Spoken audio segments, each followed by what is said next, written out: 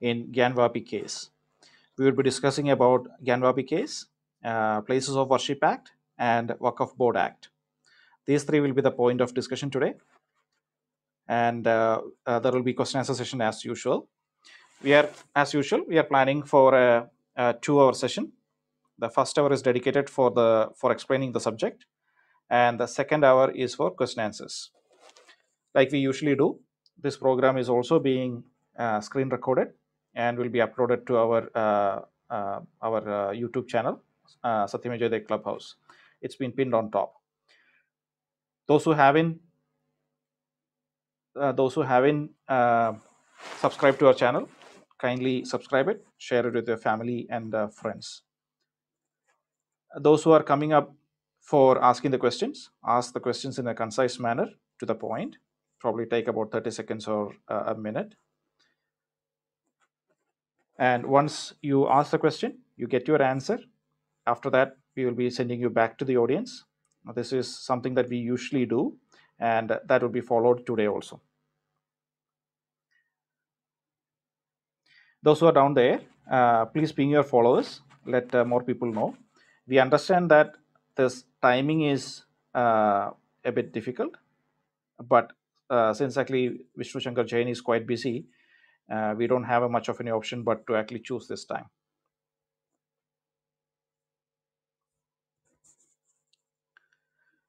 He will be joining shortly.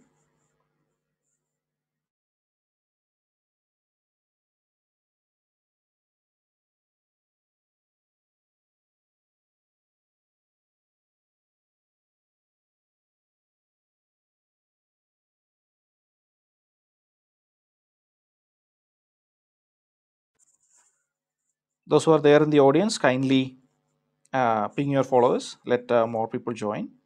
And I would like to ask actually if anybody require translation today, uh, please let me know in the in the in the group chat.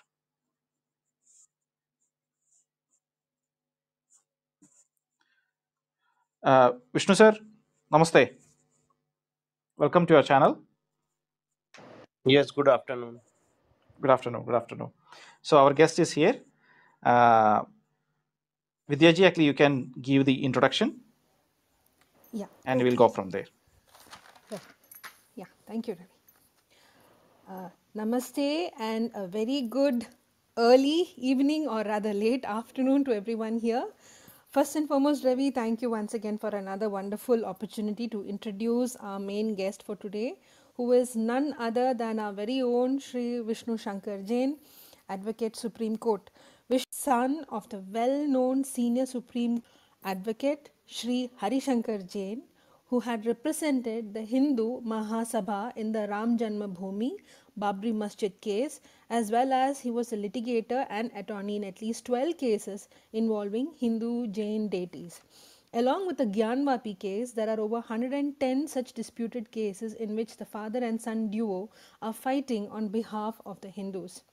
This includes Mathura's Krishna Janmabhoomi Shahi Idgah case, the Qutub Minar, Qutub Minar complex dispute, the Lakshman Tila Tilewali Masjid case of Lucknow, the Tejo Mahalai versus Taj Mahal case Agra, the Kuwait ul Islam Mosque case, the Palghar Sadhu murder case, the Adi Vishweshwar restoration case Varanasi, the petition challenging the constitutional validity of the Waqf Act, petition challenging the Places of Worship Act 1991, which was brought into effect by the Congress government, the writ petition in 2019 challenging the budgetary allocation of rupees 4700 crores to run the schemes in favor of the so-called minorities. That is under this scheme special minority grant was given to waqf properties as well as madrasas writ petition in 2018 challenging the constitutional validity of the constitution of jammu and kashmir 1957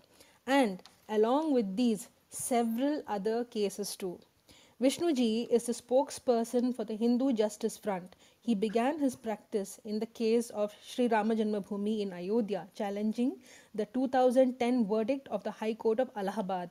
He ably helped his father Sri Hari Shankarji in the above matter. In 2016, he passed the exam for the position of, a, of advocate in the Supreme Court and registered his first appearance in the Supreme Court in the case of Sri Rama Janmabhoomi in Ayodhya in 2016. Vishnuji has taken it upon himself to challenge the legitimacy of the several disputed mosques as he believes that several of these Islamic houses of worship were built by demolishing Hindu temples. Vishnuji's petitions are based on the findings of Sri Jadunath Sarkar, who was a prominent historian of the 20th century.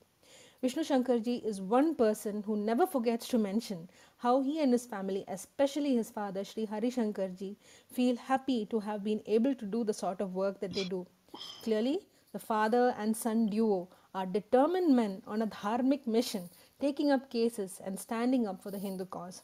So, with a heart full of pride and gratitude, I welcome you, Sir Sri Vishnu Shankar Jain, to please come forward and enlighten us about your mission and achievements. Thank you so much for joining us. Vishnuji, the mic is yours, and Ravi, thank you once again for this opportunity. A very good afternoon to all of you. I hope I am audible and clear. Yes, sir. Yes, Very sir. clear. So, today the issue which uh, I want to bring here for discussion is uh, pertaining to the Gyanvapi temple complex case, the validity of Waqf Act, as well as the Places of Worship Act, and what is the interplay and interconnection between the Gyanvapi case, the Waqf Act, and the Places of Worship Act. See, if we if we analyze the facts of Gyanvapi case, it's not just uh, as uh, as I was introduced. It's not just that we are fighting for places of worship for creating any kind of dispute or any kind of disharmony in the society.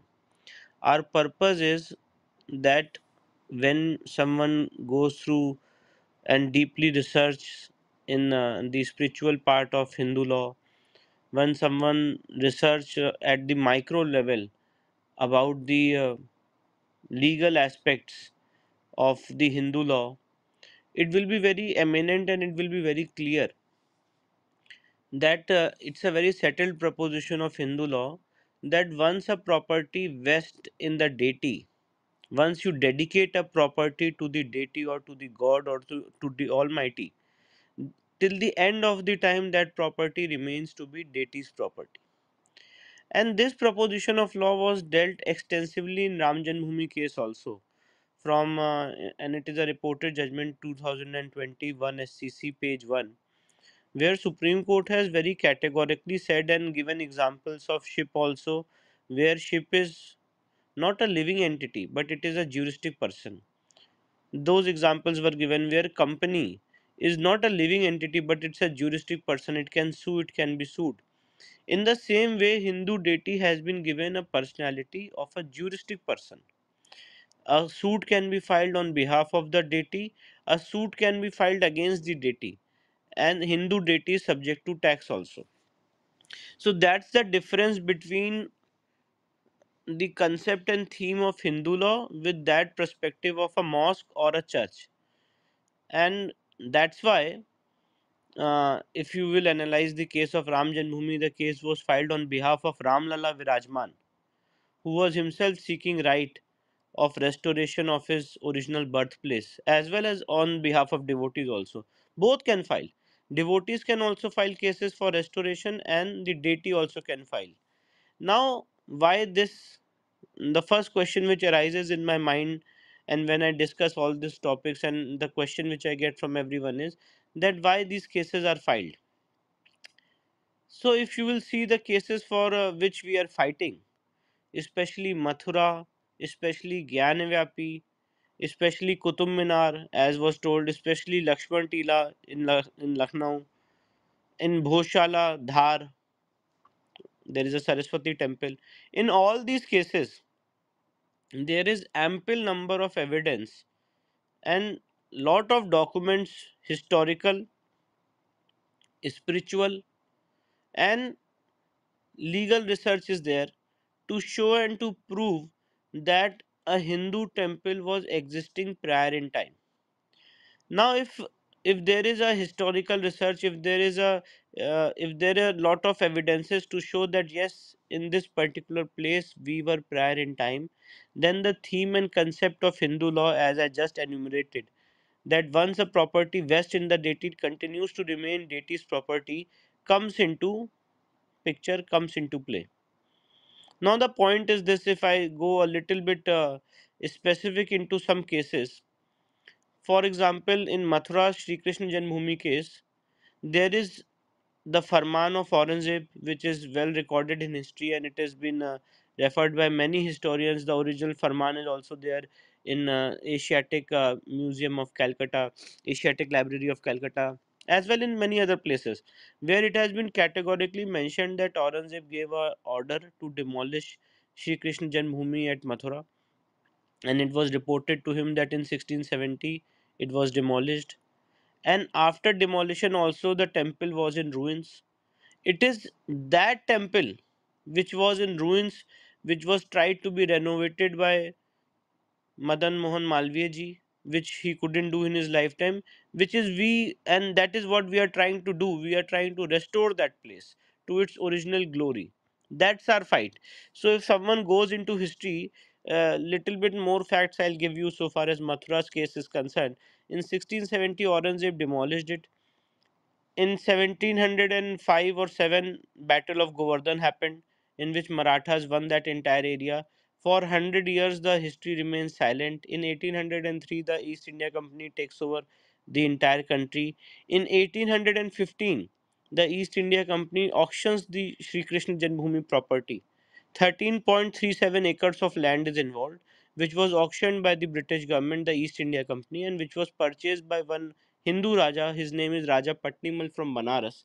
He purchased it. He purchased it in the auction. After that, uh, for uh, around in 1944, his property was sold by his uh, successors uh, to Pandit Madan Mohan Malviya ji, and a trust was created, which is known as Sri Krishna Janmabhoomi Trust.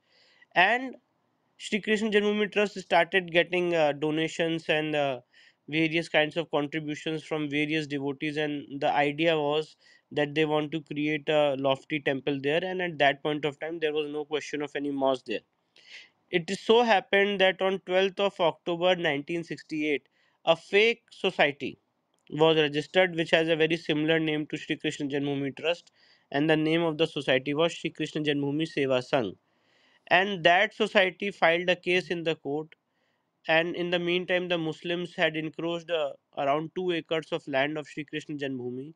And in that case a compromise happened which happened on 12th of October 1968 and it was finally decided that uh, we will maintain the status quo and as long as the encroachment part is concerned that will be not agitated by the Hindu parties. So after around uh, if you calculate uh, I think uh, 52 years we challenged that compromise in the courts of law saying that first of all this property belongs to Sri Krishna Sri Krishna Janmabhoomi Trust which is still functional and which kept mum which kept negligent and which did not speak for his rights. The original property vested in the deity through Sri Krishna Janmabhoomi Trust. Therefore, a fake organization like Sri Krishna Janmabhoomi Seva Sangh has no role, has no business to enter into any compromise. That is point number one. Point number two that uh, we also relied upon the settled principles of Hindu law as enumerated in Ram Mandir's case that if a property has vested in the deity, a trust which is created is just a custodian of that property. It is not the owner, it is a custodian, it is having the rights of a Shibayat. The property will vest in the deity through the trust. Just like Ram Mandir case, if you will see, a trust has been formed after the judgment of the Supreme Court. But the owner of the property will be Ramlala Virajman. The trust will just uh, be the custodian and the management rights will be with the trust.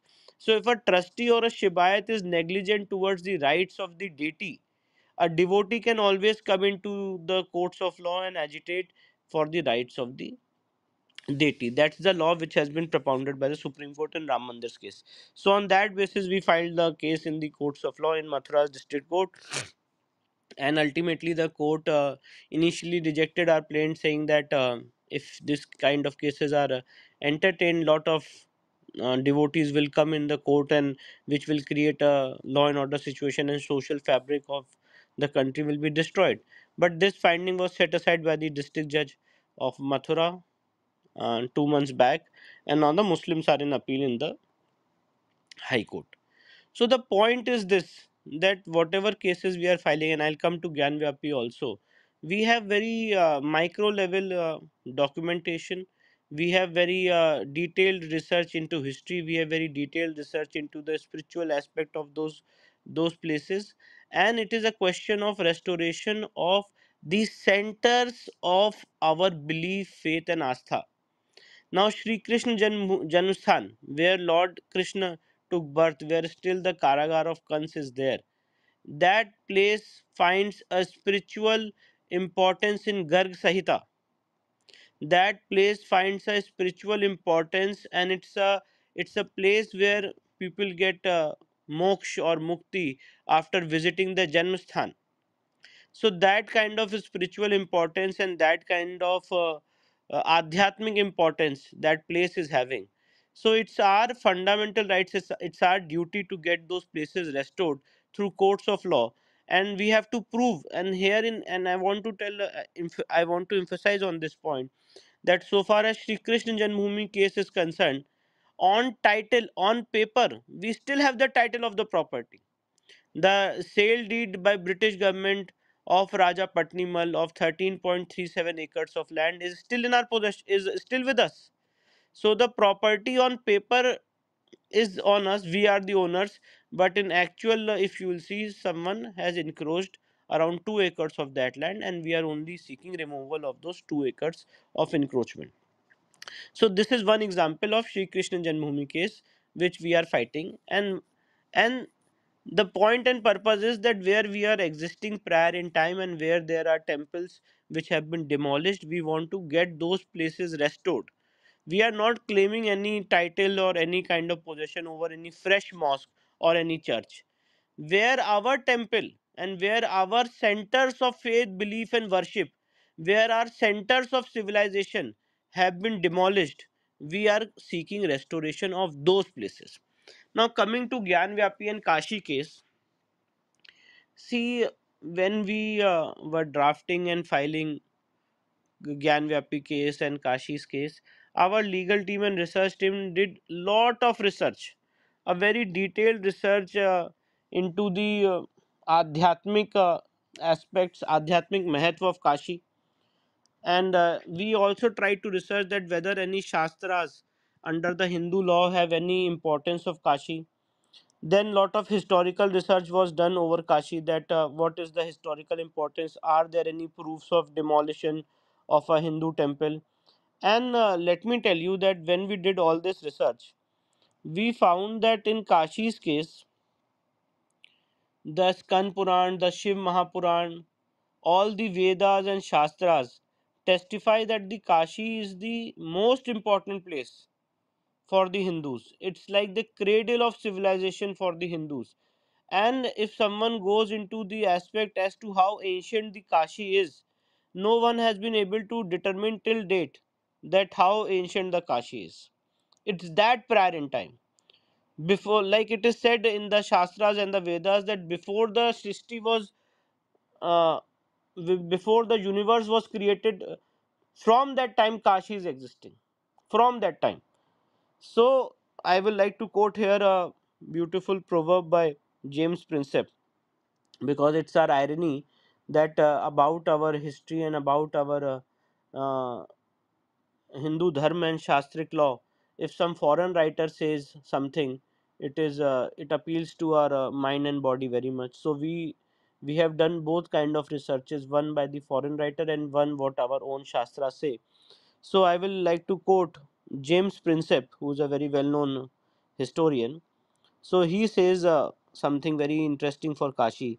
He says the and I'm quoting the Vedas and Shastras all testify that Visheshwar that Visheshwar is the first of the Devas, Kashi the first of the cities, Ganga the first of the rivers, and charity the first of the virtues. Unquote. So this is the importance of Kashi and the Vedas and Puranas and Shastras, the sources of Hindu law specifically define the importance of five uh, of Adi Visheshwar Lingam in Kashi, which is considered as the first of the five Swambhu Jyotirlingams. Out of 12, uh, out of 12 Jyotirlings, five Jyotirlings are considered to be Swambhu. And out of five Jyotirlings which are Swambhu, the very first Jyotirling is of uh, Kashi, which is at situated in Varanasi. Adi Visheshwar we call them. Adi Visheshwar we call it very popularly. Now, if I, I would like to quote certain verses from Iskan Puran also. Uh, Iskan Puran, chapter number 6, page number 58, verse number 71. It says, All other forsaken, avimukt places are procured through Kashi. Nirvana, to get nirvana, I will like to say in bracket, to get rid from the cycle of death and death and uh, rebirth, is achieved only after getting Kashi. The benefit of nirvana is not achieved by any other means, even by residing in any other religious place. Now, the next iskan Puran, chapter number 7, page number 250, verse number 131. It says, I am quoting, uh, the Avimukt area is in circle of five courses. At this place, there is Visheshwar Shivling, which is Jyotirling. So, there is direct, very, very direct uh, uh, Shastric uh, importance of Kashi, and it says that there is at this place there is Visheshwar Shivling, which is Jyotirling and the importance is given to that entire five course that entire five course is having lot of spiritual importance that entire five course is having uh, i can say adhyatmic energies and that entire five course is having lot of cosmic energies because of which we can have our adhyatmic and spiritual development. So that's the importance of kashi and that five course and in the middle of that five course is standing the visheshwar shivling which is the jyotirling so if you have to calculate from where the five course starts it starts from Visheshwar Shivling, which is uh, at which place at that place at, at at present there is the so-called Gyan Vyapi mosque. So after this spiritual research we did, uh, there are other uh, um, extracts from Shiv Mahapuran and other uh, Iskan Purans, but I would not like to go into that uh, because time is a little short here. But I would like to tell you that all those researches were done, and then we had uh, gone into the Farman of Aurangzeb, where he had specifically ordered demolition of uh, uh, the Kashi temple at uh, Varanasi, situated at Varanasi, and it was reported to him that yes, the temple has been demolished. And after demolition also i would like to bring here to everyone's knowledge that after demolition also the hindus never stopped their worship. They kept worshipping at the plinth of the mosque. A. S. Altekar, who is a very well known historian has written in his book that even after demolition in 1669 the hindus kept worship, worshipping at the plinth of the mosque uh, believing that their deity is situated in, inside. In fact, in 1809, the district magistrate of Varanasi had uh, written a letter to the then government saying that please return this uh, this auspicious place and this most important place for uh, the Sanana, Sanatanis uh, back to their back to the Hindus. But uh, it couldn't so it couldn't so happen. And I would uh, like to quote here uh, the Farman of Aurangzeb, uh, and this is very important. It has the relevance of it has relevance so far as the legal rights of Hindus are concerned, and it has relevance for those people who keep arguing that uh, there is no proof of demolition of a temple. So this Farman shows that there was a temple which was pre-existing in time and this farman shows that that temple was demolished and the recent uh, commission and the reports which we have gathered show that still the temple and the so called Gyanvapi mosque is standing on the pillars of a Hindu temple.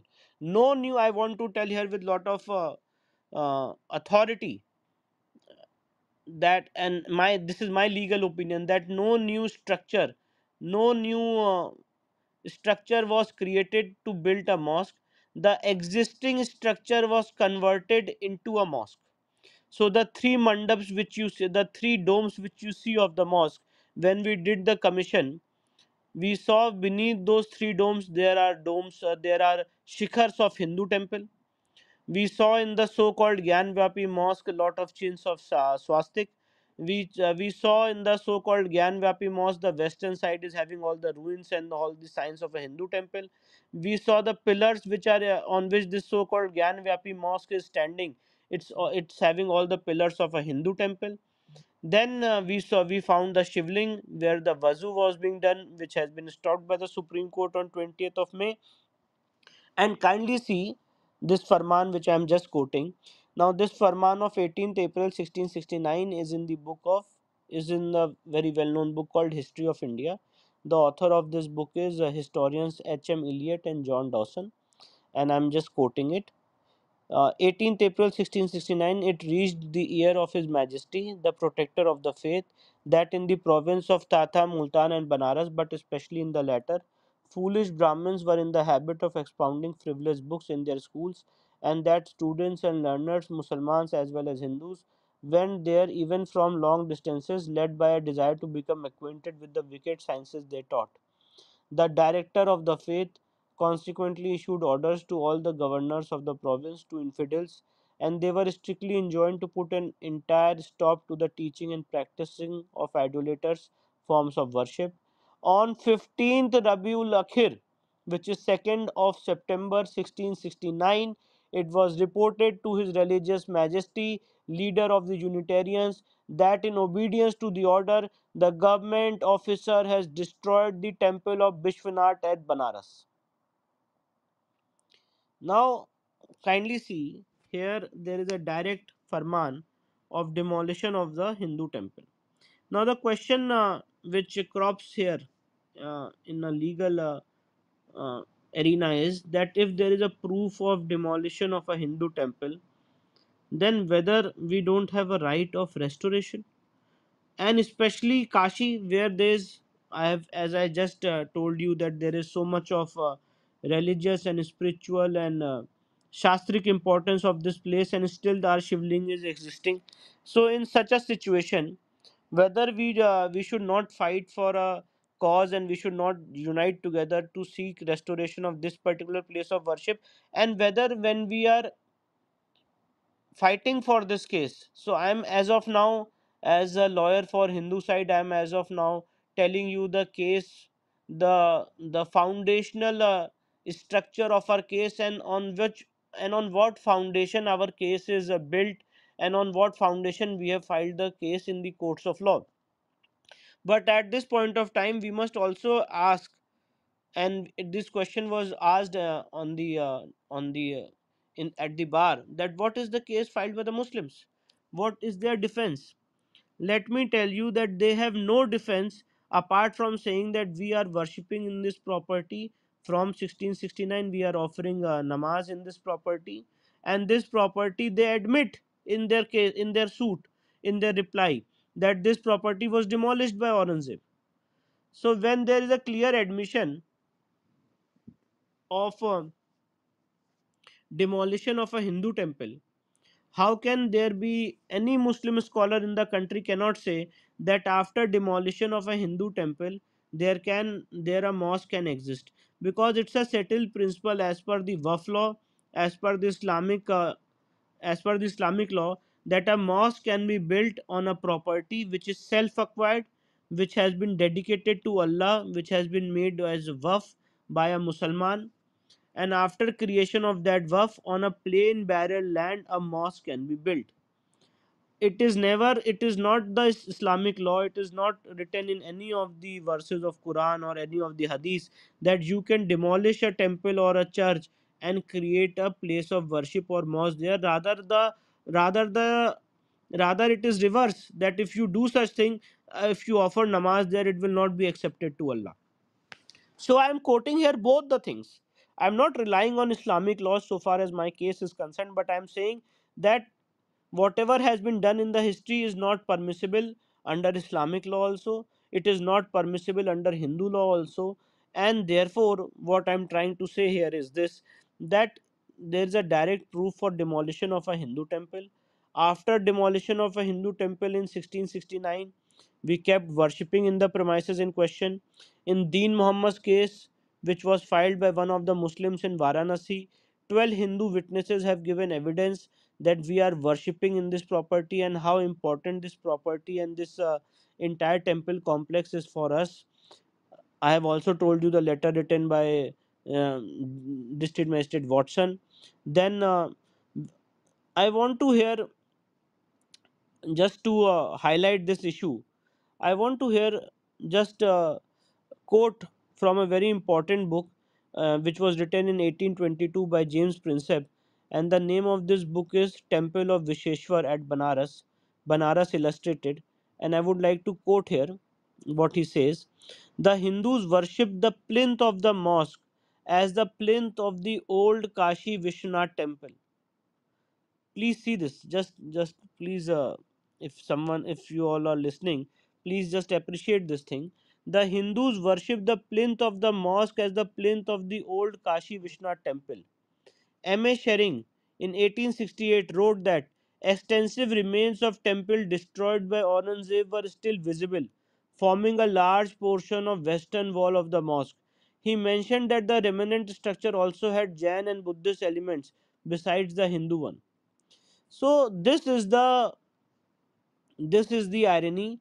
And after 1669 also we kept worshipping there was a case filed uh, in Deen Muhammad, which is known as very famous case which is known as civil suit number 62 of 1936 which was filed by one of the muslim uh, uh, devotee in Varanasi civil court and he said that this entire area should be declared as the Waqf property. And in that uh, case hindus were not made parties. It was not a representative suit. In that case uh, the british government had fought it on behalf of the uh, on behalf of the hindus without making hindus as party. And in that cases 12 hindu witnesses had given evidence that we are worshipping in the so called mosque of visible and invisible deities. But uh, in that case uh, it was also mentioned in that case that a hindu temple was demolished and the mosque was created.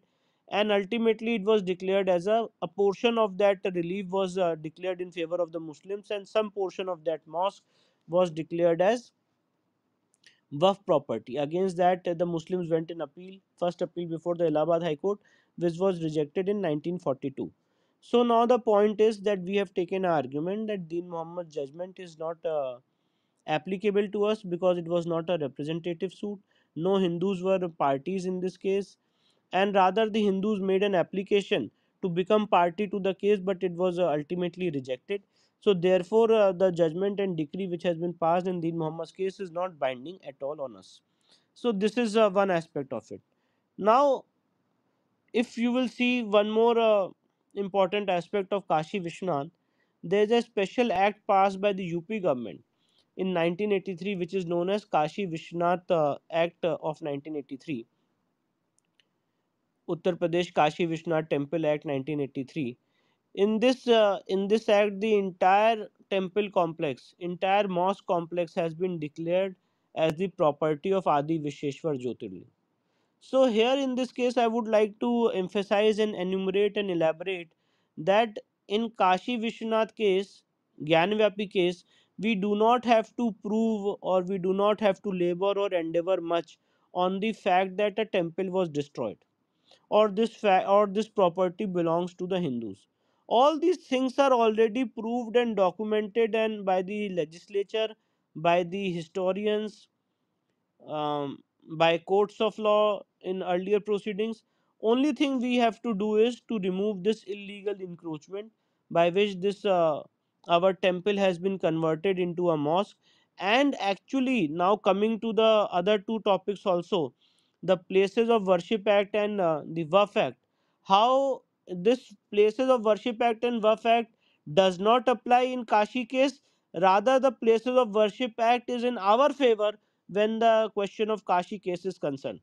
See, the point is this that uh, the suit which we have filed on behalf of all these five women devotees, we have taken a categorical pleading that till November 1993, we were worshipping in the premises in question. Till November 1993, and it's a it's a admitted fact, it's a historical fact that in November 1993, the Mulayam Singh government put barricading in the so-called uh, uh, Gyanvapi mosque. Around the Gyanvapi mosque, barricading was put, and the Vyas Parivar, the Shibayas who were worshipping in the uh, basement, in the cellar of the Gyanvapi mosque, they were ousted from possession. The Hindus who were worshipping inside the Gyanvapi mosque, they were ousted from possession. Their worship was stopped. Ma Shringar Gauri, which is on the western side of the Gyanvap, so-called Gyanvapi mosque, they were stopped from worshipping Ma Shringar Gauri. And now only on only once a year, on the fourth day of Chaitra Navratra, Ma Shringar Gauri is allowed to be worshipped on the western side of the mosque. Now, two questions uh, arise here. First is how can there be any Hindu deity on the western side of the mosque? If it's a mosque, very validly created, because when the uh, Muslims uh, do their when the Muslims offer namaz, they always uh, head towards the west. So how can there be a Hindu deity towards the western side of the mosque? And the second point is that till November 1993, the Vyas Parivar was worshipping in the cellar in the Tehkana, and therefore the Places of Worship Act, which was enacted in 1991, operates in our favor because that character was changed, that status quo was changed, and we were ousted from the property in question completely. So this this is like uh, uh, the long and short of the Gyan case and how the places of worship act comes into picture. Now the uh, muslim uh, parties the masjid committee also had taken uh, certain objections in our case of uh, the uh, Waqf act and their argument uh, was before the court that this suit cannot be adjudicated by the civil court and it has to go to the Waqf tribunal as per section 83 and 85 of the Waqf Act 1995. Now, when we did uh, research into this part, and for proving their point and to buttress their argument, they had placed a document which uh, uh, in which they said that it is registered as a Waqf property, and the document said it's a Alamgir mosque. Now, when we did research, there are so many mosques in Varanasi which is known as which are which is known as Alamgir mosque because Alamgir is uh, also one of the names of Aurangzeb.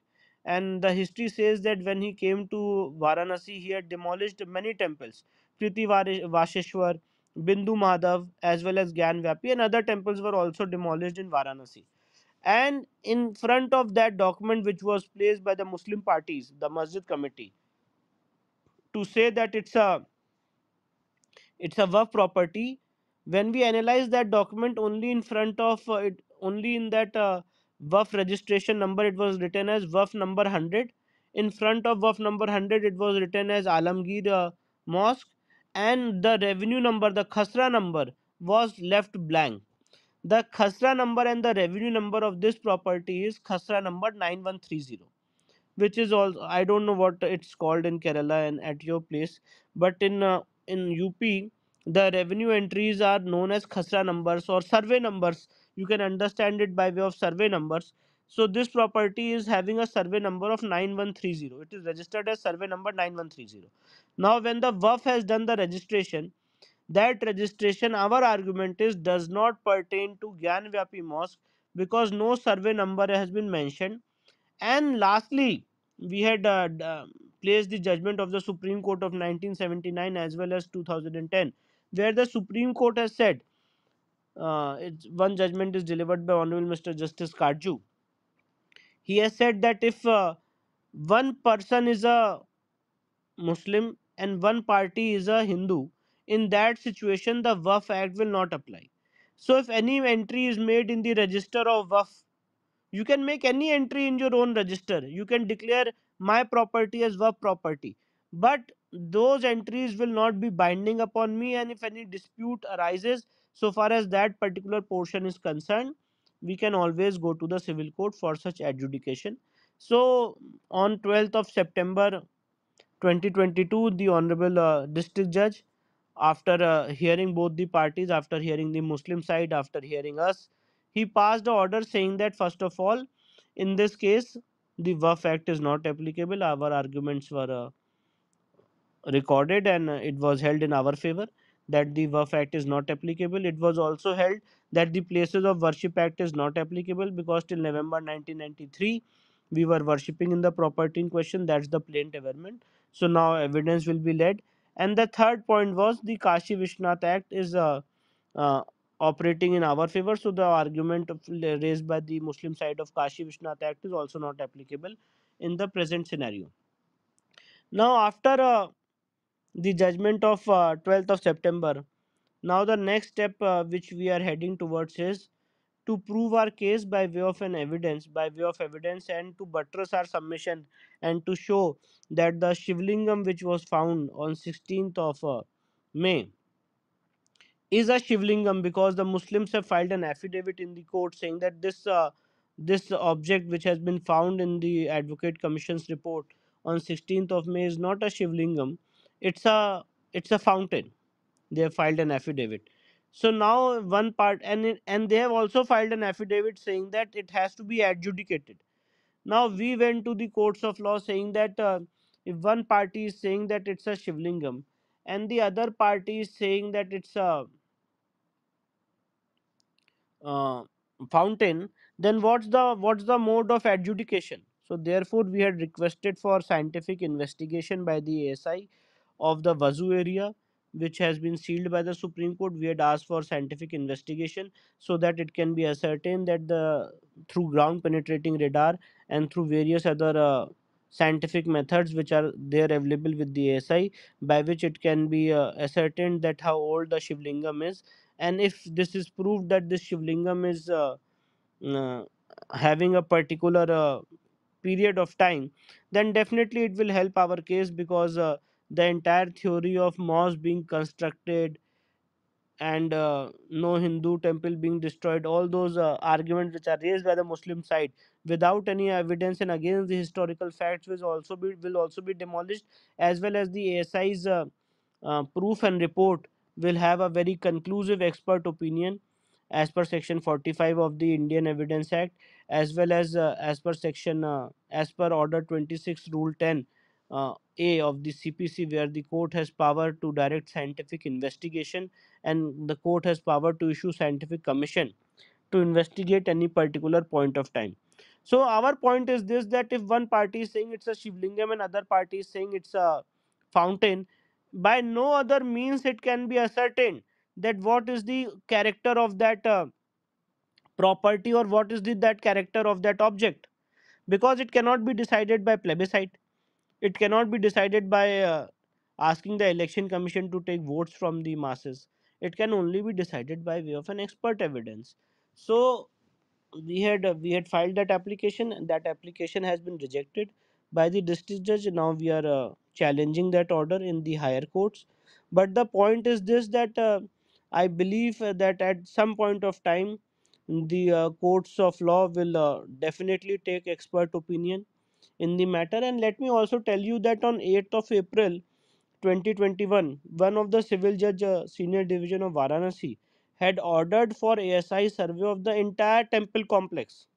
So it's not that uh, our demand is very new and it is not well founded. In ram mandir's case also the asi uh, uh, opinion as well the report of the asi became a very crucial part became a very very important part for adjudication of the dispute. Because uh, these are the cases where we are uh, trying to uh, figure out and ascertain that what happened 500 years back 600 years back. And therefore without the help of an archaeological survey these kind of facts uh, cannot be ascertained. Because in these aspects uh, the asi is an expert. As a lawyer as a person who is uh, doing litigation we can bring out a historical research which is having evidentiary value as per section 57 of the indian evidence act. We can bring out various uh, travelogues we can bring out various uh, evidences of the locals who are saying that yes we were worshipping in the premises in question from past uh, 30 40 years. But so far as uh, other questions are involved in the case. Without an archaeological survey i think it will it, it cannot be decided and therefore i believe that there is already an order of 8th of april of the civil judge senior division directing asi of the entire property and the muslims uh, the masjid committee has challenged that order in the high court. The high court has stated. So someday i think it will be adjudicated but the point is this that to prove our case uh, as i just uh, briefly pointed out here uh, to all of you that what are what is our research and what is the foundation of our uh, case. If you will analyze the arguments raised by the masjid committee apart from saying that we were offering namaz in this area there is no other proof.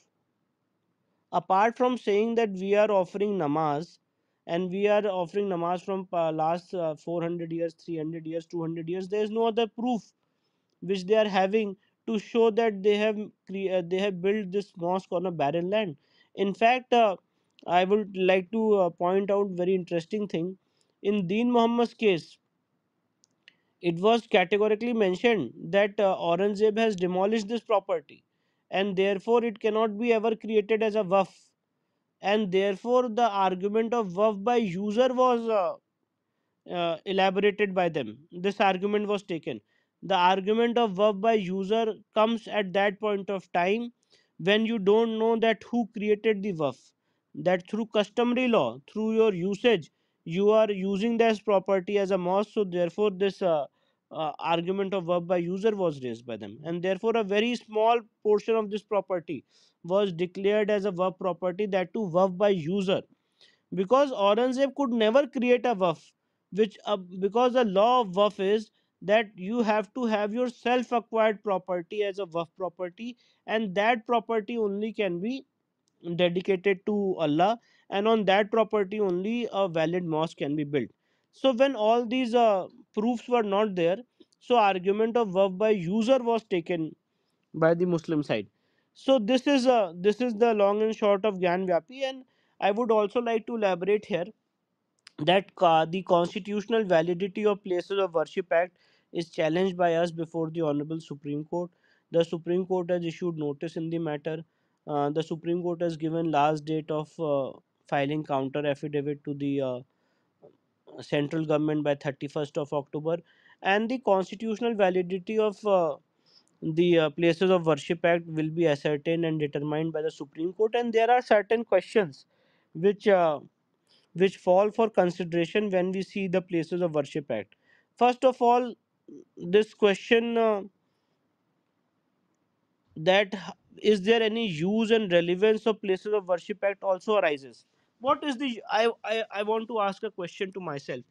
If places of worship act was not enacted what would have been the legal situation and what would have been the practical situation?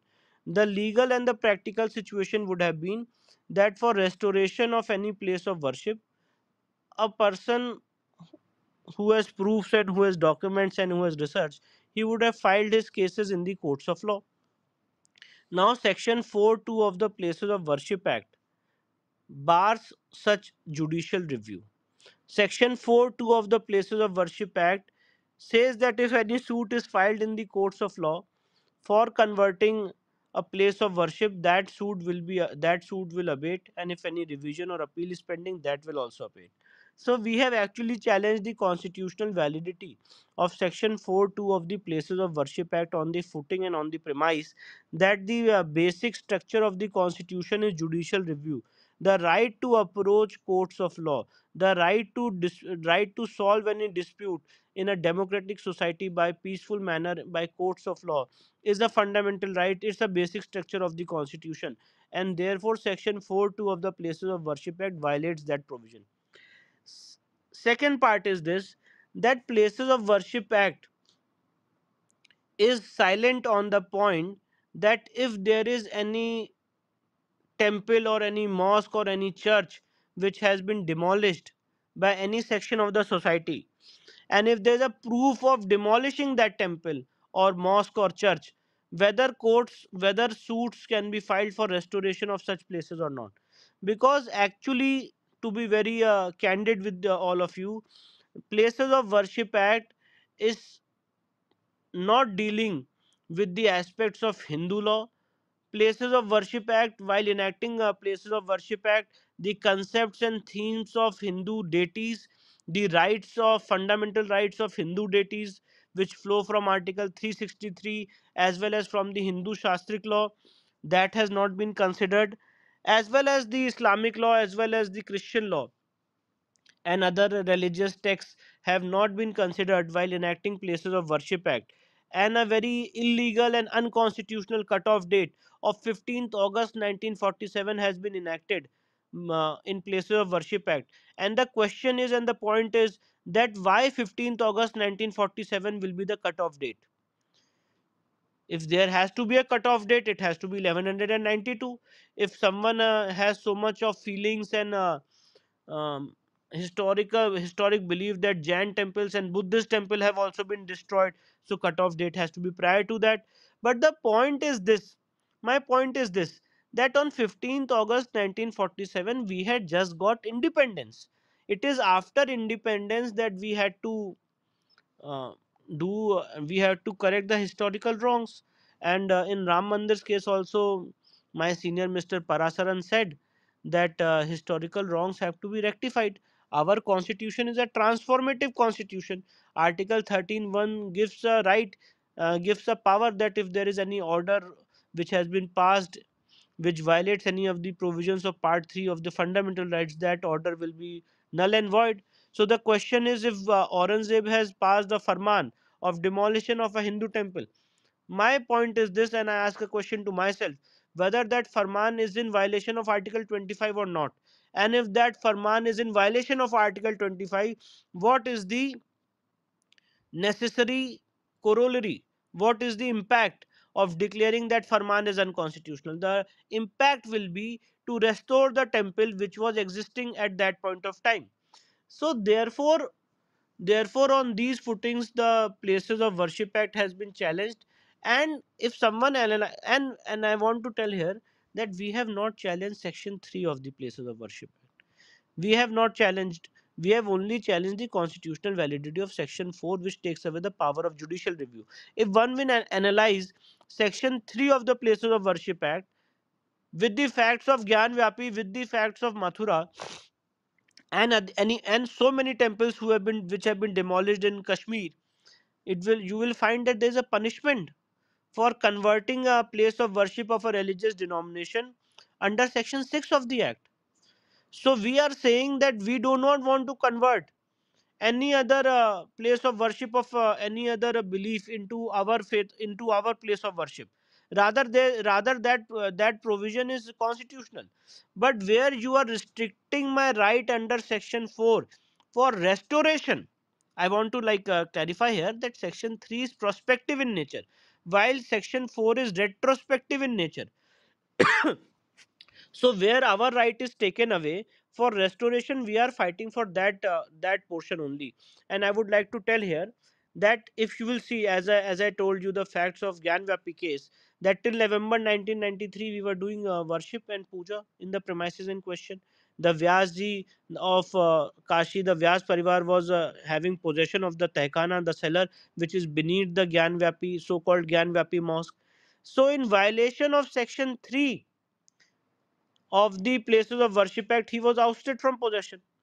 Because section 3 said that the status quo will remain and if you violate that status quo it will have a punishment under section 6 no person will change the religious character of a religious denomination into other.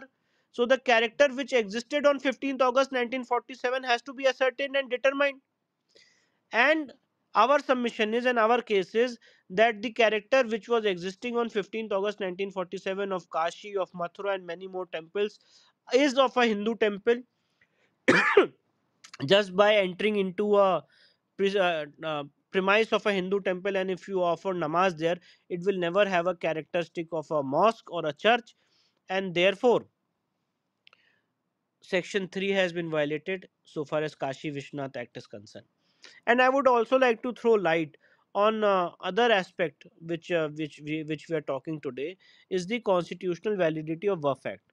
I would like to tell here that we have challenged the constitutional validity of Waqf Act 1995 before Allahabad High Court. The notice has been issued uh, by the Honorable High Court by the Honorable Chief Justice as well as Honorable Mr. Justice uh, J.J. Munir, who is part of the bench, to the uh, central government, to the Attorney General, to the Advocate General, and certain provisions of Waqf Act are very draconian, like section 4, 5, and 6, uh, which gives power to declare some properties as Waqf property, and the survey the survey has been conducted survey is conducted for determining the Waqf properties under section 8 of the Waqf Act 1995 the cost of the survey is borne by the state government now which is in clear violation of article 27 because no such provision is there for uh, the hindu for the hindu or for christian or for jain or for buddha or for parsi that their property will be ascertained by the state government as to how much their property is and the survey will be conducted for other sections of the society.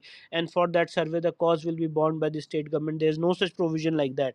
But for uh, muslims to appease uh, muslims and to have uh, uh, uh, as per the appeasement policy, the Congress government in 1995 enacted this Waqf Act, and uh, by virtue of Section 4, 5, and 6 of the Waqf Act, surveys conducted, and under Section 8, the uh, cost of the surveys borne by the state government. I would also like to mention here that under Section 6 of the Waqf Act, initially the word was person aggrieved. I'm sorry, initially the word was person interested so till 2013, when it was not amended, section 6 uh, 1 was not amended, the word was person interested, meaning thereby if uh, a survey is conducted and suppose my property comes in that survey as a Waqf property, so the law was that till 2013 that I need not uh, like I'm not legally bound to challenge that order in uh, the Waqf tribunal. I can uh, I am not in fact bound at all by that order because uh, because I am not a person interested. In 2013, the Congress government changed that definition from person interested to person aggrieved. And now the law is that if a survey is conducted and my property falls within the purview of Waqf property, I am bound to challenge it in the Waqf tribunal. And it has been affirmed by the Supreme Court by, by a judgment of Honorable Justice uh, Ashok Bhushan uh, in 2019. So, uh, therefore, we have challenged the constitutional validity of Section 6, 4, and 5 and 8 that these provisions are unconstitutional. The Waqf Act should not apply to uh, non Muslims. As well as we have also, I would like to bring to your knowledge that Section 40 sub clause 3 of the Waqf Act is very draconian. It says that uh, Waqf board can declare any property as Waqf property, even if it is belonging to a mutt, mandir, trust, temple, church, anything it can declare it as a Waqf property and the person whose property has been declared as a Waqf property will also not be informed that his property has been declared as the Waqf property they will inform to the organization to the registrar of the society or the registrar of the trust where that property is registered. And you have to challenge that order within one year. That's the legal uh, obligation. So the point is this that under section 40 subclause 3 of the Waqf Act 1995 if you are declaring my property as the Waqf property such kind of uh, arrogance is there that you will not even communicate to us that our property has been declared as Waqf property. And against that order you want me to file an appeal you want me to challenge it in the Waqf tribunal and we will not be communicated also it will be communicated to the registrar of the societies or the trust who, who we all know that what happens in the register of the societies and the trust where uh, uh, no communication is made to the aggrieved person. And the third point is that how can you give such a power to a particular community to declare any property as the Waqf property whether such power is there with the members of the Hindu community, whether such power is there with the members of Christian, Sikh, Jain, Buddhist, or Parsi community to declare any property as Waqf property. Taj Mahal has been declared as Waqf property by the Waqf board in 2005. The ASI is in appeal in the Supreme Court. I would also like to mention the recent example of Tamil Nadu where temple has been declared as the Waqf property. And there are so many examples in North India. Uh, especially, I would like to mention here one example of Chandrasekhar, Shahid Chandrasekhar, who who we all know was a freedom fighter and who gave his shahadat in uh, Prayagraj, Allahabad. That park, there was a park which was dedicated for him. It was known as uh, initially it was known as Company Bagh, then it was known as Alfred Park. Now it has been renamed as Chandrasekhar Azad Park. That park uh, uh, was captured uh, by members and sections of Muslim society, and that park was uh, some portion of that park was de- declared as Waqf property. the waqf number is waqf number 294 of 91 so the this power of declaring any property as waqf property does not belong to any other member or any other section of the society and therefore this entire section 40 subclause 3 is unconstitutional. It is in violation of article 300a 300a so we have challenged that provision as well as section 53 and 54 of the uh, Act, which gives them power to uh, 50 uh, yes 53 and 54 of the Waqf Act, which gives them power to remove encroachments and direct the state administration to remove encroachments is also illegal and unconstitutional because you see the discrimination that if uh, as a Hindu my property is being encroached or if a temple land is being encroached for us the normal law is that you have to go and approach the civil court and you have to file a civil suit and you have to fight a long legal battle to get those removed that to get those encroachments removed. But so far as members of muslim community as are concerned if any property has been encroached which is a waqf property they can direct the dm and ssp to get those encroachments removed uh, by to get those encroachments uh, removed by virtue of section 53 and 54 and the and the state government state administration has to comply with their order. So it's like they become super bosses in our own country. And then the draconian provision of section 89 if you have to file a case against the waqf board you have to give them notice two months prior notice just it's parallel pari materia section to section 80 of the cpc which says that if you have to file a case against government you have to give them two months prior notice. So they have been given a status of a parallel government under section 89 and if you want to file a case against a, a temple property or a deity's property you don't give, you don't have to give us a prior notice. There is no such provision for the members of hindu christian jain buddha or sikhs. But this special provision is made under section 89 for the members of the muslim community. And the most uh, i think hilarious part of waqf act is section 101 of the waqf act section 101 101 of the waqf act where the members or mutwallis and the members of the waqf board have been made as public servants. I want to ask a question here that no temple, priest, pujari, mahant, purohit, shankarachar has been ever given status of a public servant in this country. If any any any listener or any legal luminary of the country can show me a single provision where a shankarachar, mahant, pujari, purohit, mahant, priest, or in fact uh, a member of a church or of a Sikh community or of Jain community or Buddhist community has been declared as a public servant, then I would also enhance my knowledge. But uh, as far as I know, that no such legal provision is there for any other section of the society. But for section 101, these people, the waqf board, the members of waqf board, the mutwallis, they all have been given the status of public servant. For them, the limitation does not run under section 107 they want if they rise after 200 years 300 years and they believe that this property is a waqf property they can declare it. For us there is a particular period of limitation. We have to file cases as per limitation act 1963 within a particular period of time. So all those provisions have been challenged before the uh, constitutional validity of all these provisions have been challenged before the Allahabad High Court and uh, notices have been issued. It's fixed for hearing on 15th of December and uh, let's see how it uh, proceeds. But uh, the point here is that Waqf Act 1995 section 4 of the Places of Worship Act 1991 as well as the Gyanvapi case and the Mathura case and all these cases where there are proofs of demolition of a Hindu temple all these cases can my legal interpretation is that all these cases can be filed and the courts of this country are uh, powerful enough to grant relief of restoration. If uh, Ram Mandir can be restored, then other other other centers of our belief, faith, and worship and astha can also be restored through a democratic uh, way by courts of law. And therefore, uh, in light of all these, in, in in this background, we have filed these cases, and I would like to now give the mic uh, to the organizers to proceed further. Thank you, thank you, Vishnuji. That was very enlightening, and at the, at the same time, actually, you know, many aspects of the law that uh, we didn't know came to light today. Uh, Sharath, actually, we can we can turn on the hand raising. Those who would like to ask a question, please come up. Do remember uh, when you ask the question, once it's been heard and you got the answer back, you will be sent back to the audience that we usually follow. It will be followed today also. Uh, our YouTube channel, this is screen recorded. It will be uploaded to our YouTube channel. It is pinned on top. Uh, please do subscribe and uh, share with your family and members.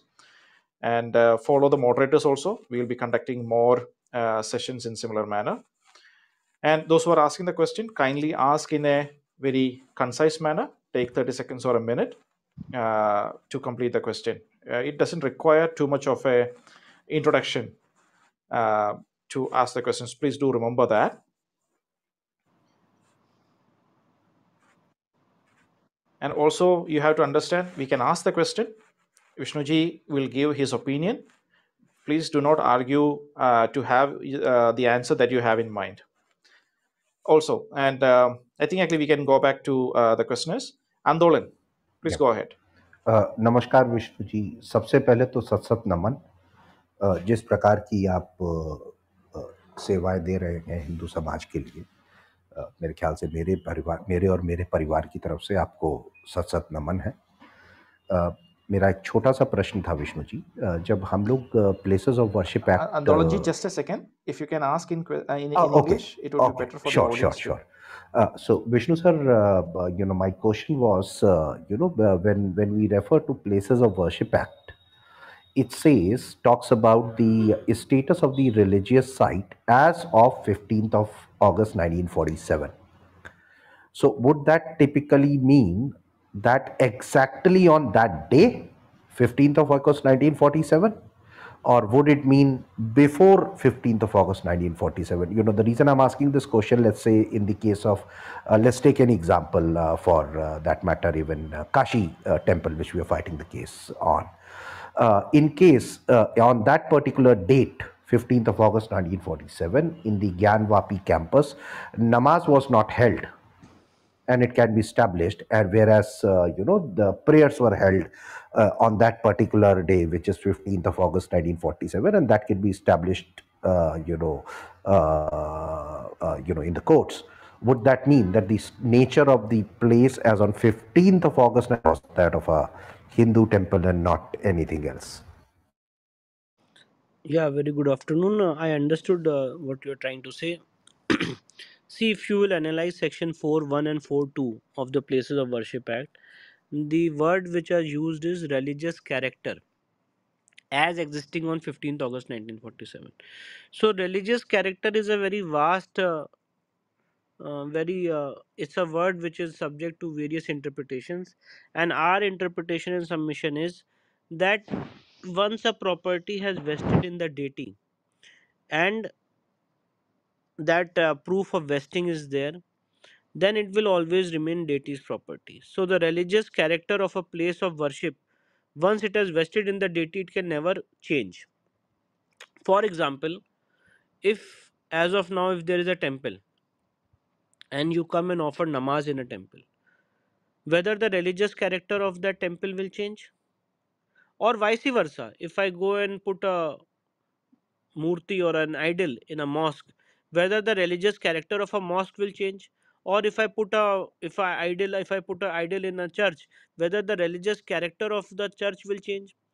The only answer can be it can never change because whoever is prior in time the religious character of that property will remain the same. And therefore the places of worship act uses the word religious character the legislature never intended to enact such a law which will validate such kind of demolitions in the past.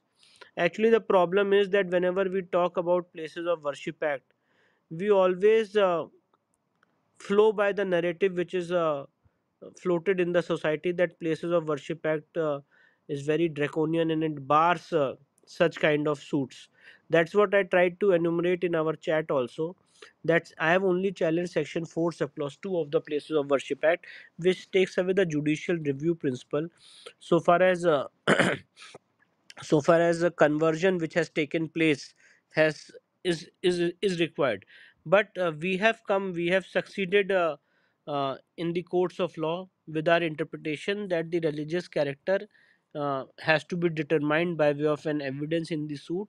And it's not just that it's it is my opinion when the matter had traveled to the supreme court the gyanvapi case the the bench also through legal discussion observed and gave example of a gyari and cross and said that if uh, if in a in a gyari a cross has been put uh, the religious character has to be determined by way of an evidence. So my point is this an answer to your question is this the religious character word has to be interpreted and our interpretation is and it will be interpretation by all the uh, sections of the society as well as muslims also. They will also say that that in a mosque if an idol has been installed it can never have uh, it can never lose its religious character. Therefore the point is that if therefore what is the way to determine this? The way is to prove who is prior in time and exactly that's why i tro- told you the spiritual and shastic mahatva the proof of demolition and to show that we were prior in time because if one goes and establishes that we are prior in time or if a particular section of the society is prior in time then the religious character of that property will always have the character of a temple or a mosque who was prior in time and who had initially done the installation and in whom initially the property had vested. Therefore, section 4, as you rightly told, uh, 15th August 1947, religious character has to be determined and that will be done only by way of an evidence in the courts of law. Yes. Thank you, sir. Thank you. Thank you, Anthology. Uh, the next question is Santosh. Please go ahead. Santosh. Santosh, I hope you can hear me. Yes, go ahead. Yeah, yeah. Uh, thank you, Ravi, uh, and thank you, Vishnuji. Uh, I have one question. Uh, I would like to know your honest opinion about our con- constitution. See, uh, is our constitution is biased towards uh, Hindus as being majority, or uh, if the answer is yes, uh, what is the uh, remedy or solution which you think which will be practical? Thank you. I didn't understand what your voice is not clear, sir. Can you please again repeat? Yeah, my question is: Is our constitution biased? I mean, uh, negatively biased towards Hindus, being uh, the uh, majority in our country? Like, uh, constitution is biased uh, towards the minorities. And if the answer is yes, what is the remedy to be uh, for it has to be neutral? I don't think that the constitution is biased towards Hindus or it's biased towards the Muslims. The people who are interpreting the constitution and implementing the constitution, they may be biased, but the constitution as such is uh, not biased and can never be biased. It's a document uh, which has uh, passed the test of time and uh, there have been amendments and in future there will be amendments but our constitution is a transformative constitution as i told you but i believe and i feel that the people who are interpreting the constitution who are implementing the constitution because of their biasness and because of the minority appeasement politics uh, this kind of situation is arising in the country Thank you, Santosh. Uh, RK, go ahead. Yeah, Namaste Vishnuji. Uh, thank you. Uh, first of all, I thank you for your services for the Hindu community, uh, and I thank uh, the moderators for bringing you in today. And my question is like uh, the the, uh, the answer you gave to the previous person. I just want to ask on it on again. Like you know, he asked about the bias. Yeah, you said the constitution is not biased, but the people who you know interpret it is. So I'm worried, uh, to be very honest. I just want to ask you one question: like, what are our chances on the Hindu side? What are our chances? Uh, because uh, we have been in possession, you know, Hindus have been in possession of the temple. So definitely, I think I feel positive there. But again, another my second question is uh, the you know the kind of interpretation is going on now, like uh, wokeism and judicial activism is more uh, there in the judiciary now, as the leftist liberal approaches, you know. Uh, making you know influence on the judges and judgments. Uh, especially uh, we have seen in the Sabarimala case also. So I just want you to uh, just uh, say your view on that also. My first question is like you know what is our chances on the Gyanvapi Mosque and Kashi Vishwanath temple case? See i'm asking another question. Suppose take a worst case scenario. Worst case scenario. Let's first talk about the negatives even if we lose the case. At least we fought. At least uh, it was better than keeping mum. The entire civilization and the community is keeping mum from past so many years. Let me tell you the first case in Gyanvapi after 1669 demolition was filed in 1991 so i am saying that, they don't have any hopes don't have any hopes that i will win the case for you or whatever. At least be happy that we have raised our voice that itself is sufficient. Because from 1669 till 1991 there was not even a single voice which was raised to get back our place of worship. At least we are fighting. At least we are trying to lay the foundation if this thought was there in the uh, minds of people who had fought for ram janmabhoomi let me tell you when gopal singh visharad filed the case in 1950 he he he never saw the light of the day. The judgment was delivered in 2019 he, he never knew that whether he will see such a day. Mr uh, agarwal who had drafted uh, the suit for ramlala virajman he never saw Uh, the beautiful moment which we are going to see in 2024 that whether there will be victory or there will be loss but at least they fought in their time. So i am very happy. I'm not here to give you any assurances that yes sir our case is very strong. We will definitely win. I am having a lot of satisfaction sir today that at least i'm fighting. I'm not sitting as a silent spectator. If there any injustice if there is any injustice which has been done in the past at least this civilization this community is rising and we are at least fighting. I don't mind that whether in this clubhouse there are 20 people 30 people 5 people who are listening to us but i'm at least happy that we all are uniting here to at least talk about this topic. Otherwise uh, 10 years back this topic was uh, a very very communal topic. You can't even talk about the injustice which has been meted out to us. So i am to just telling you rk sir that i'm very happy that i'm fighting and if uh, and the chances I, I am not here to predict any chances or give any assurances but uh, we have a very strong legal foundation on which basis this case has been filed and let us see what happens in the courts of law at least uh, this civilization has uh, uh, raised its voice against the injustice which has been done in the past. Thank you, Vishnuji. Thank you, RK.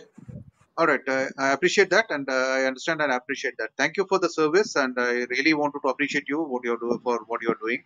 And I just was, uh, was just uh, you know worried about the thing. That's why I questioned it. Like, uh, it was just a question of uh, you know what doubt I, have, I was having. I just asked it. No, I anyway. I. I, I wish you all the very best, and uh, we hope uh, to get to win the case. Uh, and definitely, I will pray for it. Thank you. Okay, we will go to the next questioner. Uh, Ajay. Hmm, धन्यवाद। नमस्कार विष्णु जी। मैं थोड़ा हिंदी में बोलूँगा क्योंकि मैं वाराणसी से ही हूँ विष्णु जी। बनारस काशी से ही हूँ मैं तो सॉरी सबके लिए मैं थोड़ा इंग्लिश मेरी वीक है तो मैं हिंदी में ही क्वेश्चन करूँगा। आप इंग्लिश में बोल सकते हैं उसका सब लोग समझ जाएँ। जैसा कि मैं पूरा फॉलो किया इस उस मुकदमे को।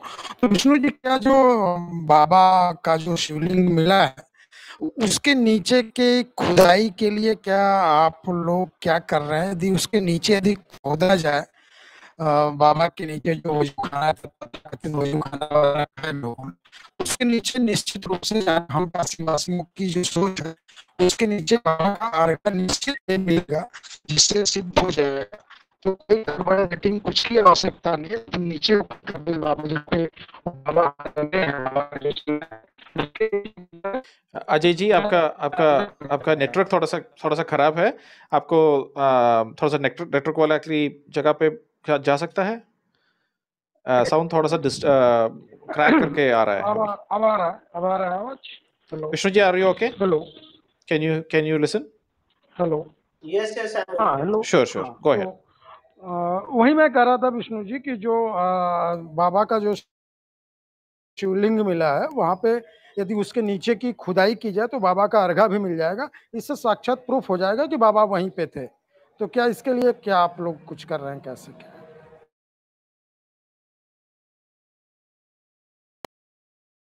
Krishna ji you're on mute yes मैंने आपको जैसे बताया अजय जी कि हमने अर्घा के लिए ऑलरेडी एप्लीकेशन दायर की थी। जिसको डिस्ट्रिक्ट जज साहब ने रिजेक्ट कर दिया, अब उसके अगेंस्ट हम हायर कोर्ट में जा रहे हैं। किसी ने वहाँ पे कार्बन डेटिंग की मांग नहीं की थी, वो भ्रम फैलाया गया था। हमने साइंटिफिक इन्वेस्टिगेशन और खुदाई की मांग की थी, जीपीआर सर्वे की मांग की थी और बिल्कुल आपकी बात सही है कि अगर अर्घा मिलेगा तो उससे काफ़ी चीज़ें प्रूव हो जाएँगी। और उसी के लिए हम लोग प्रयासरत हैं, उसमें हायर कोर्ट्स में हम जा रहे हैं। Thank you Ajay. The next question is also in Ajay. Ajay, go ahead. Yeah, uh, thank you, moderators. Uh, and Namaste, Vishnuji. Uh, thank you for uh, taking up this course and uh, getting a positive results in the beginning of this uh, litigation. So, congratulations to you. Congratulations to all of us.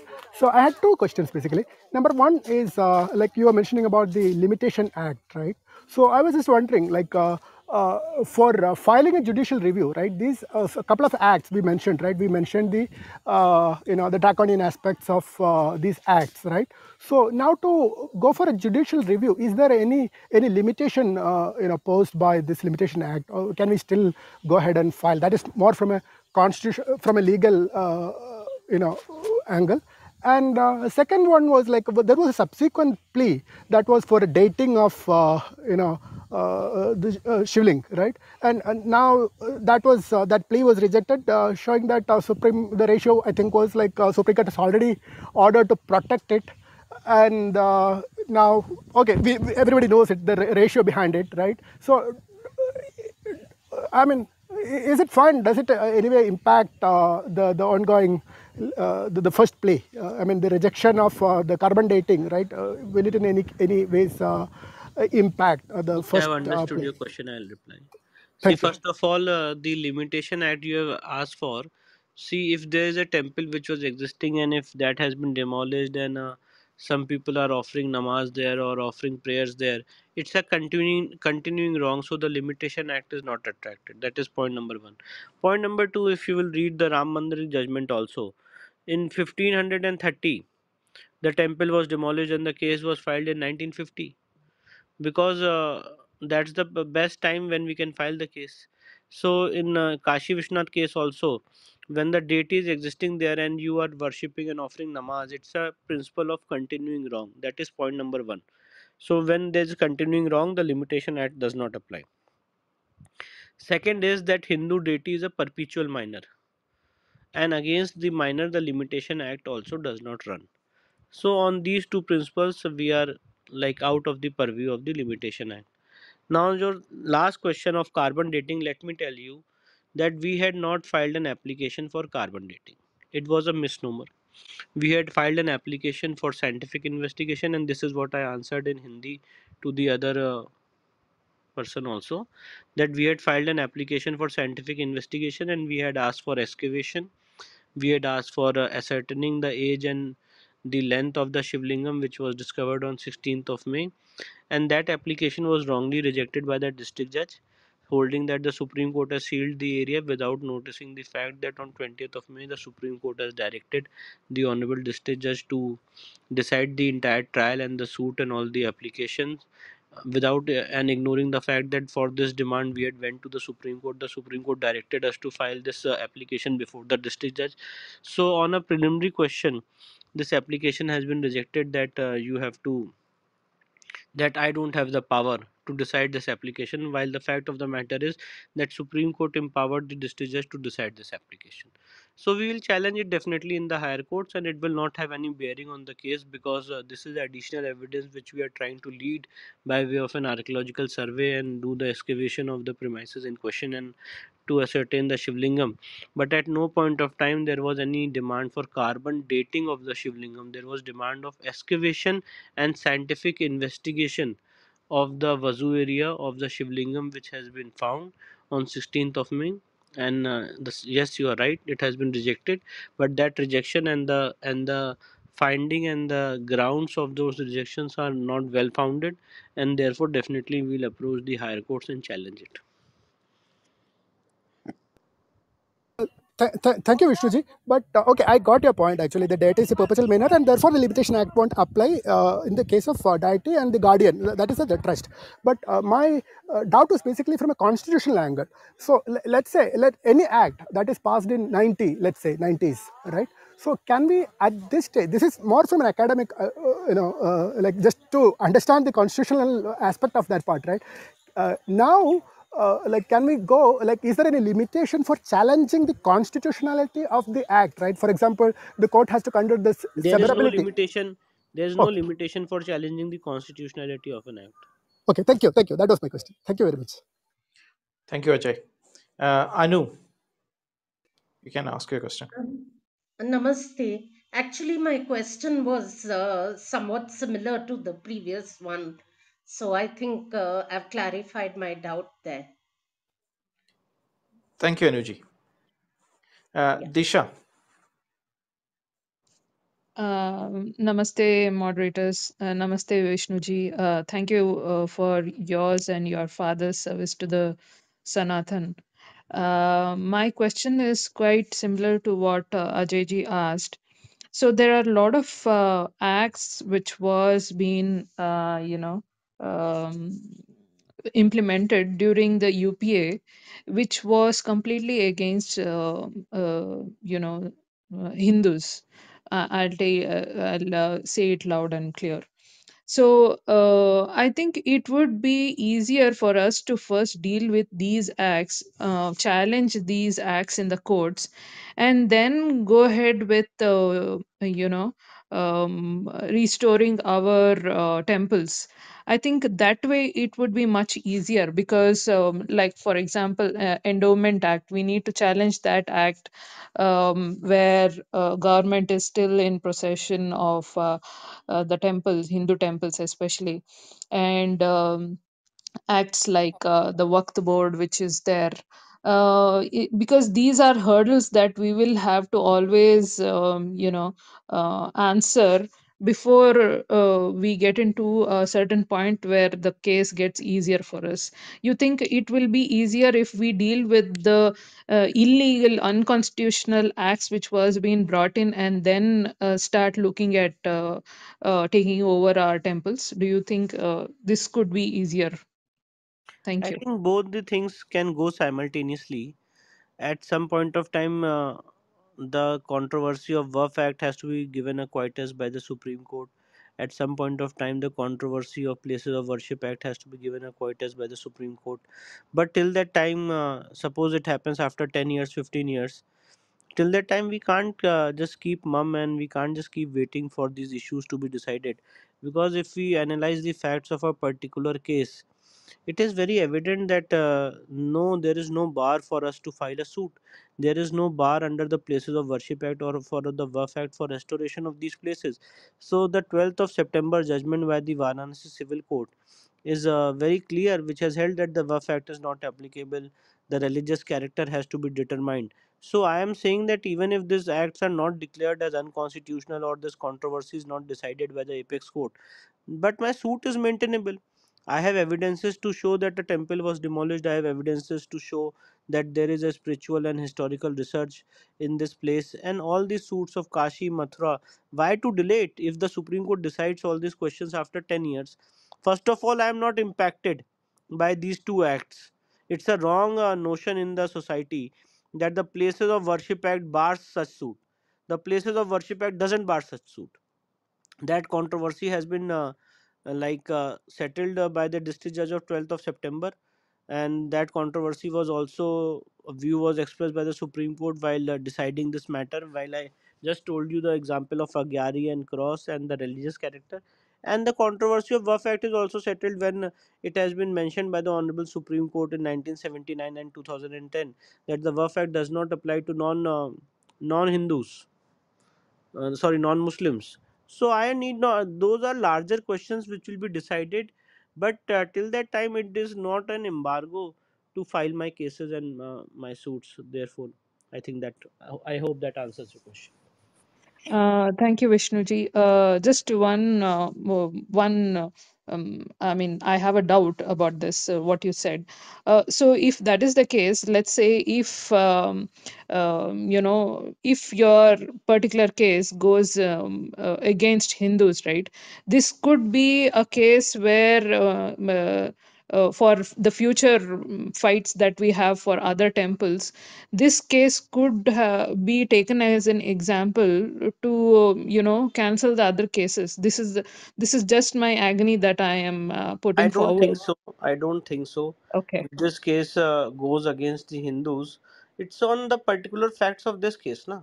If whether I have evidences, whether I can prove those evidences in the courts of law, it is on the Mhm. basis of evidences that trial will be decided. How the facts of Gyanvapi case will affect any facts of the case of a temple in Kerala? how the facts of uh, a temple of uh, Bhojshala of Dhar will affect any facts of the case of Mathura. Every case has its own facts, and these are the cases which are decided by the trial court. The judgment passed by the trial court is not binding on uh, across the country. It's uh, it's in that particular set of facts. Okay. Thank you so much, Vishnuji. You have answered all my questions. Thank you. Thank you, Disha. Uh, DM, go ahead. Uh, uh, Vishnuji, thank you very much for the services to the community, Hindu community, by you and your father. I think Dishaji had uh, probably covered my question, so I'll move myself down. Thank you, DM. Uh, S.R. Srinivasan. Uh, thank you, uh, and uh, thank you, Vishnuji. Uh, it's a great honor to be speaking with you, and uh, you know, uh, I definitely know your about your father's cases also. It's great that you are with us. One question I have is that you know the legal team, as lawyers, you have been doing this quite a bit. As a commoner, what is the help that we can do, or if there is any help, what is that that we can do? Sir, uh, you just keep giving your blessings to us and uh, keep blessing the entire community that uh, we can succeed in this legal battle. To be very frank, that I think the best help can be to educate the people about these topics, to spread the word, to spread the message about our fight, and I think uh, that will be of a very big help. Thank you, Srinivasan, sir. Uh, I'll, I'll quickly move on to the, the remaining two questioners. Uh, Vishnuji uh, also has a time constraint. Uh, Harish, go ahead. All right, thank you. uh, uh, thank you for the opportunity. Um, sir, I have two questions. One is the the argument that is kept from the Hindu side frequently is that once a temple is a temple, its nature can never be changed, and it will always revert back to that uh, uh, since the beginning of the temple, and so and so. But uh, all the judgments that I see have been rendered, uh, uh, they take importance about who was doing what activity in the place post 1947. Uh, so, uh, in that case, uh, is there any um, new uh, points that uh, the legal teams have come up with uh, to persuade the judges to think otherwise? Uh, because uh, there are so many temples in my state. Which judgments are you talking about of Supreme Court? uh, Supreme Court is uh, even uh, Ram Janmabhoomi. Ram Janmabhoomi judgment para 116 to 118 is in our favor, which says that uh, once uh, a temple has been uh, established, uh, the the vow and the to establish a temple remains eternal. uh, but uh, much importance is given to uh, what activities carried on post. Sir, your voice is not clear. Uh, can you hear me now, sir? Hello. Yes, yes. Yes, uh, but uh, I see judgments giving much importance. Even uh, uh, the Gyanvapi case, where uh, the maintainability of it was decided, uh, much Yes. importance is given to uh, post uh, that period what was happening in the place. Uh, it's not like uh, 2000 years back it was a temple, so uh, doesn't matter if nobody was worshipping. Yeah, Uh, because because as of now we are at the initial stage where the plain averments will be just seen. When the case will open for evidence then importance will be given to all the evidences which are led by us as of now we have not led our evidence No, no, that That- that uh, that I understand, sir. Uh, but my, my pr- the principle behind my question is that because in my state there are a lot of alleged temples uh, where currently mosques and uh, churches are sitting, but nobody has gone and worshipped them for the past hundred years. So Uh, that's what no. that's what I just clarified that if there is an argument of religious character, and if you have uh, pleadings and if you have historical proofs that a temple has been demolished and it has been converted into a mosque, so even if you are not worshipping there, you can at least file a case for restoration of those places. There is no bar because the religious character of that place will never change. If it was a temple, it will always remain temple's property.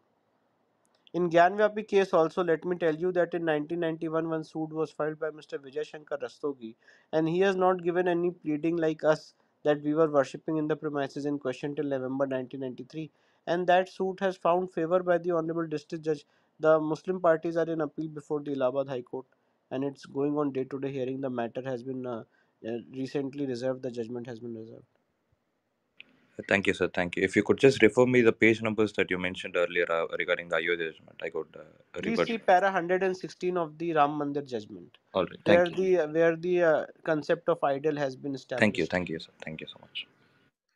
Uh, thank you, Harish. We will go to the last questioner. Srijit, go ahead.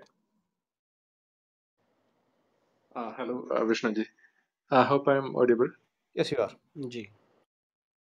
Uh, okay. Uh, sir, uh, the Subramanian Swamy says uh, we need only three temples. Maybe other temples are important to people. Don't we want it? I never believe or I never second the word of Mr. Subramanian Swamy.